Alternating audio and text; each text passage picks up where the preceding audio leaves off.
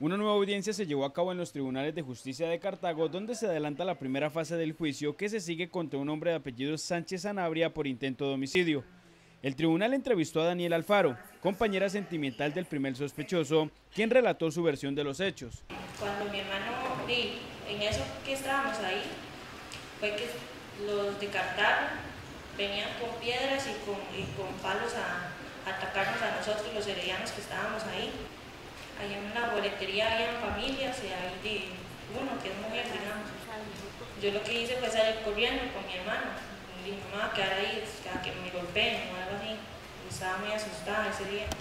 Asimismo, dentro de los citados está una funcionaria de la UNAFUT, quien brindó detalles referentes a los protocolos que se deben seguir a nivel de seguridad para los partidos. Bueno, lo que el reglamento exige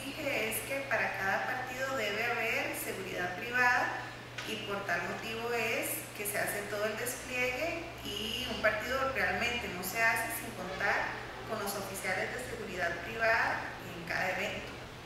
No necesariamente porque se han dado casos que han llegado aún cuando no se ha cumplido con la cantidad de, de oficiales o aún cumpliéndose no llegan.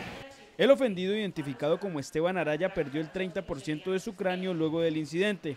También la defensa indicó que exigen una suma de 90 millones de colones por los daños sufridos.